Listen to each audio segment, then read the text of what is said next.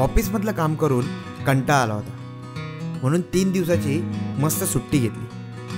आता ही घेतलेली सुट्टी नक्की कुठे सार्थकी लावूया हा विचार करत असताना कोकणात माझ्या गावी जायचा विचार आला. खूप दिवसापासून मला जनशताब्दीच्या ई व्ही कोचने प्रवास करायचा होता. पण एवढ्या शॉर्ट नोटीस पिरियडवर मला ते तिकीट मिळणार नव्हते. माझे नशिबाने त्या दिवसाची मला एक स्पेशल गाडीची तिकीट मिळाली. दादरला येऊन पोचलो आहे आणि शेरू आला होता मला सोडायला. तो माझ्याकडे एवढा पोचका आहे बघा इथे आहे ही बॅग आहे पाठीवर लावलेली एक बॅग आहे. असं तीन तीन चार चार बॅग माझ्या एकट्याच्या. असं घेऊन मी चाललो आहे चला. भेटूया बाय बाय कळव. हो तुला. आणि कडे कडे खूप वर्षांनी मी ट्रेनचा प्रवास करत होतो. त्यामुळे माझ्यासाठी हे सगळं थोडं नवीनच होतं. त्यात ही स्पेशल गाडी सोडली असल्या कारणाने ती नक्की कोणत्या प्लॅटफॉर्मला लागणार आहे हे मला कळतच नव्हतं. तर अनाऊन्समेंट आहे. दहा दहा दहा. दहा बरं बघा नऊ दहा. इकडे. बघा लगेच लोक चालायला लागले. सगळ्यांना माहीत नव्हतं कुठे येणार आहे.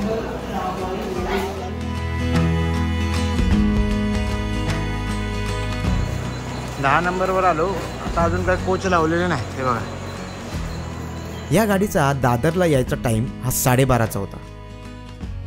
एक वाजून गेला होता तरी गाडीचा काय आत्तापत्ता नव्हता. स्पेशल गाडी सोडल्या असल्या कारणाने मनात थोडी धाकधूक होती. बऱ्यापैकी रिझर्वेशन न झाल्यामुळे गाडी कॅन्सल वगैरे केली तर नसेल ना? अशी सगळा विचार करत असताना अचानक प्लॅटफॉर्मवर गाडी आली.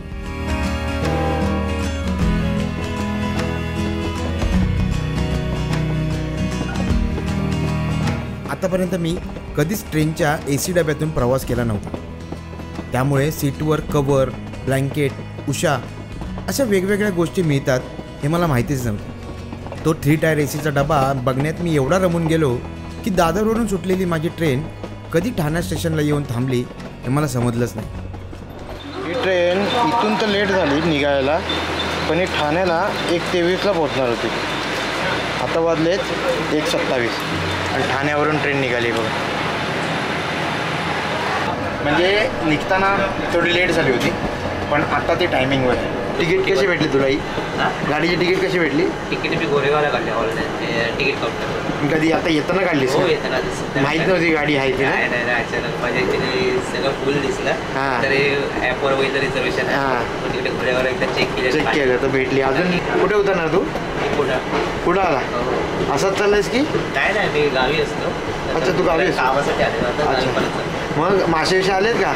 हो आता चालू आहे चालू आहे मासे? हो, येतात म्हणजे पाणी भरलं असेल ना? कुर्ले भाषे सगळा हो. सगळं? पकडतात की तुम्ही? हो मजा येते? मस्त थंड वातावरण झालं होतं. खिडकीबाहेर बघत बघत गाणी ऐकत मी कधी झोपलो ते मला समजलंच नाही. जाग आली तेव्हा ट्रेन एका स्टेशनवर थांबली होती. बाहेर जाऊन बघितले तर चिपळूण स्टेशन होते. ही ट्रेन या मार्गावर नवीन होती. साहजिकच या ट्रेनला खूप साऱ्या क्रॉसिंग मिळणार. हे मला माहिती होतं. या ट्रेनचा चिपळूणचा टायमिंग सहाचा होता. पण ही ट्रेन बारा मिनटं लेट होती. पंधरा मिनटं वाट बघितल्यानंतर अखेर आमची ट्रेन सुरू झाली. आणि आता मस्त खिडकीमधून बाहेरचा निसर्ग बघायला मजा वाटू लागली.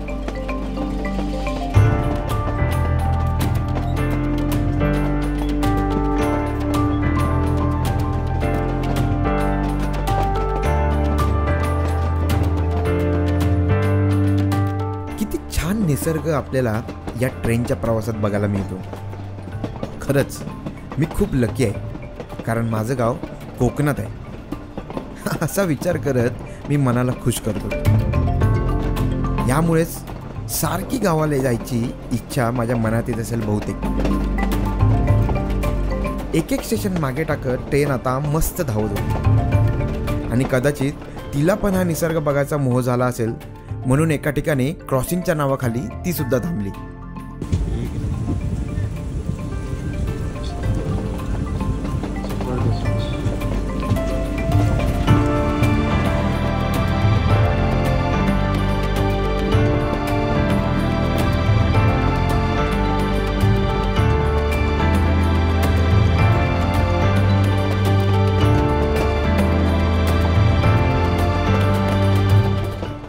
खिडकीतून तर कधी दरवाजातून मस्त निसर्ग बघता बघता संगमेश्वर स्टेशन आलं. सातचा टायमिंग संगमेश्वर स्टेशनचा या ट्रेनचा होता. पण इथे सुद्धा ती ट्रेन अर्धा तास लेट झाली होती. आणि इथे पण एक क्रॉसिंग लागली होती. अरे मराठी चैनल है समझ में आएगा? मराठी नहीं समझ में आया तो कब से हो संगमेश्वर में आप? छः महीने छः महीने ही हुआ? इधर रहते? गाँव कौन सा है? गाँव यूपी। यूपी अच्छे है कोकण अच्छे है? बस तो उधर ही अच्छा है लेकिन क्या रहता है ना इधर आने के बाद में इधर भी अच्छा लगता है क्योंकि उधर छोड़ दो उधर जाने का मन नहीं करता इधर तो इधर ऐसा सब है क्या मतलब? तुम्हारी यूपी में है क्या ये सब ऐसा? हाँ? यूपी में है ऐसा? यूपी में ऐसा नहीं तो यूपी में पहाड़ पहाड़ है क्या? तो इधर है। देगा तो आगे जाएगा। रहता है ना अपना गाँव अच्छा लगता हाँ है। वो तो है वो तो है। वहाँ पे तो क्या रहता है ना अच्छा है, काम अपनी मराठी सीखा नहीं अभी तक। छः महीने में अभी क्या सीख जाऊँ क्या क्या सीखा? एक एक दो वर्ड तो सीखा है? हाँ क्या क्या सीखा। है बता? अब क्या क्या सीखा? अरे बता तो कुछ क्या बोलने के लिए सीखा आहे किती रुपयाला देऊ? येतं का? किती रुपयाला देऊ? हे कसं हे कसं मतलब काय अभी सीखते सीखते टाइम जाएगा। शिकते शिकते टाइम शिकून घ्या बाबा? रहते किती रो सीख देता हूँ। बाहर रूम लेके क्या फ़ायदा? इधर ही? स्टेशन पे ही? हाँ क्या दिक्कत है? एक बजे बंद करता सुबह चार बजे खोलना पड़ता है। चार बजे। अकेले ही होते हो क्या? ये क्या लीज पे लिए आहे नहीं मैं काम करता हूँ आप काम करतो हे। हे त्याचं बेड आहे नॉर्मली आपण बसतो ना ते पुटका टाकलाय उशी आहे एक चादर आहे ट्रेन थांबली म्हणून तो उठला आणि इथे गेला गणपती में रहता ना बहुत गर्दी। किती असते गणपतीत गर्दी? बहुत गर्दी रहता है। मैं कभी इधर था नहीं लेकिन हाँ। सुन रहा हूँ सुन रहा हूँ।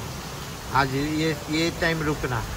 जल्दी मिल जाएगा। बारिश में जब रुक सकता हूँ तो गणपति में क्यों नहीं रुक गणपति में रुकने का गणपति में ज़्यादा गर्दी रहेगा तेरा बहुत खाली हो जाएगा सब सामान। सामान खाली रहेगा गणपति में बहुत लोग आते हैं ना। अभी भी आएँगे। अभी सीज़न में जब इतना हाँ। थे तो गणपति में कितना रहेंगे?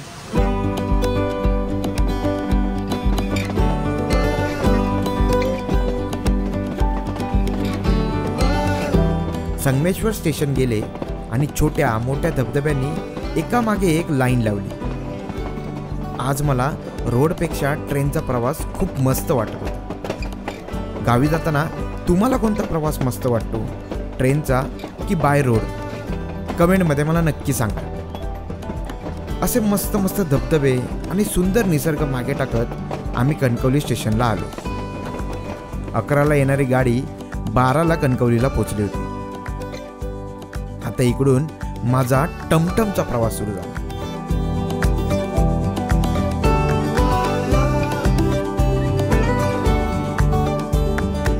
मे महिन्यात रखरखीत वाटणारे मळे आता हिरवेगार दिसत होते.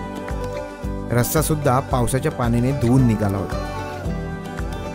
पाणी आटून खडखडीत झालेली नदी सुद्धा दुथडी भरून वाहत होती. छान वाटलं बघून.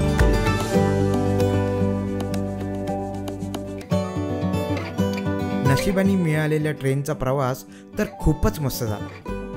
तुम्हाला माझा हा प्रवास कसा वाटला ते नक्की कमेंट करून सांगा. आणि चॅनलवर नवीन असाल तर आत्ताच सबस्क्राईब करा. आणि हो तुम्हाला पण असा एखादा चान्स भेटला तर ह्या दिवसात नक्की गाव गाठा. निसर्ग तुम्हाला कधीच निराश करणार नाही.